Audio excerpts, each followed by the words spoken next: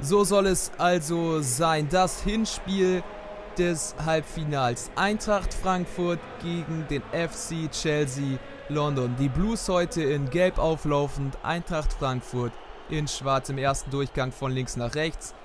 Chelsea hatte hier die bessere Anfangsphase. In der Liga zuletzt etwas geschwächelt. Hier wollten sie gleich den so wichtigen Auswärtstreffer erzielen. Olivier Giroud testet direkt mal Kevin Trapp in der Anfangsphase. Der ist aber aufmerksam. Loftus Cheek kann gut verlängern.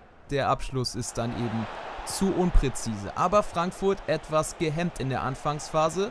Weiterhin nur die Gäste aus London. Aspilicueta auf Pedro, der hatte ja gegen Prag im Viertelfinale eigentlich alles klar gemacht. Loftus Cheek, Jorginho zu Olivier Giroud weiterhin 0 zu 0. Da konnten sich die Frankfurter erstmal bei Kevin Trapp bedanken, der eine richtig gute Partie hier absolvierte in der Anfangsviertelstunde. Nun auch die Eintracht nach vorne unterwegs. Der erste Abschluss sollte erstmal geschafft werden. Gacinovic und dann Jonathan de Guzman. Gar nicht verkehrt, im Gegenteil, sogar ziemlich stark.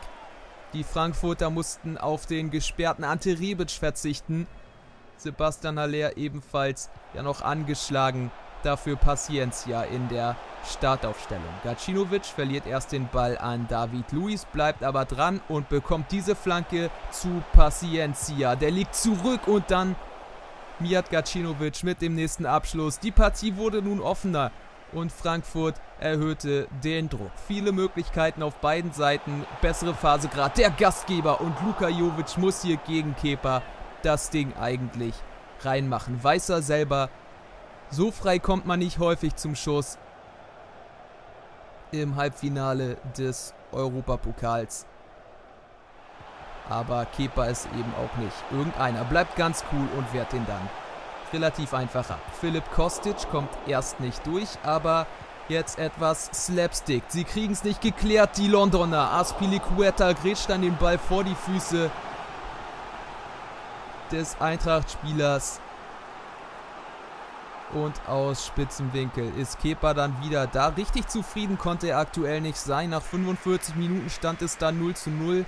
Die Anfangsphase klar auf Seiten der Gäste dominant geführt. Sie wurden schwächer und Frankfurt vor allem wurde deutlich stärker. Die Anfangsphase hier im zweiten Abschnitt wiederum gehörte den gelben Gästen. Pedro legt zu Loftus Cheek, Aspilicueta, Loftus Cheek und Ross Barclay versucht es da ganz artistisch aus 11, 12 Metern. Frankfurt musste aufpassen, nicht den Treffer zu kassieren. Die Auswärtstorregel in der Europa League ist ja omnipräsent aktuell. Da Costa, Jovic, wieder zu Da Costa. Paciencia scheitert an Kepa, setzt aber nach und bringt den Ball dann über die Linie. 59. Spielminute Gonzalo Paciencia, der Portugiese mit dem Führungstreffer für Frankfurt. So, so wichtig.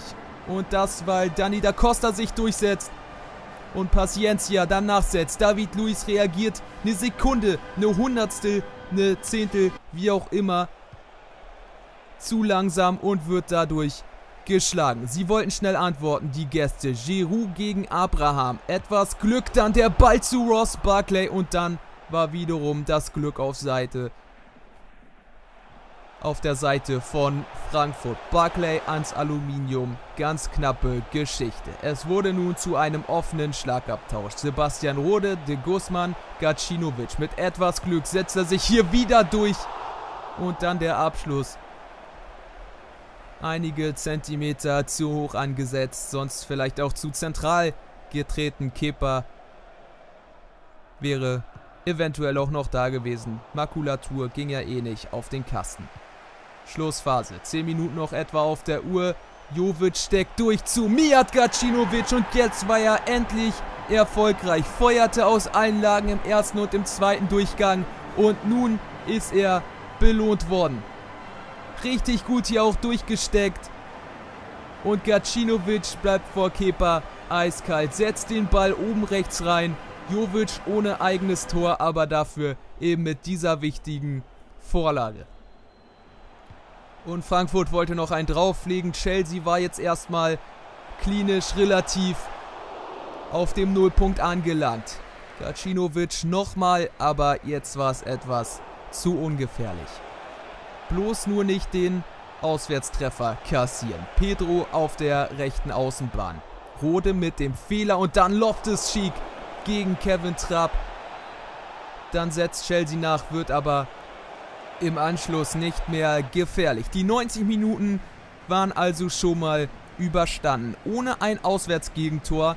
Das 2 zu 0 eine herausragende Ausgangslage. Aber an der Stamford Bridge muss man auch erstmal bestehen. Mijat Gacinovic mit einer richtig starken Partie mit seinem 2 zu 0 sind die Vorzeichen aufs Finale durchaus positiv. Jo, das war's dann auch wieder mit der Prognose. Wenn es euch gefallen hat, lasst doch gerne einen Daumen nach oben und ein Abo da. Ansonsten tippt gerne mit in den Kommentaren. Würde mich auf jeden Fall freuen. Ansonsten vielen Dank fürs Zuschauen. Bis zum nächsten Video und tschüss.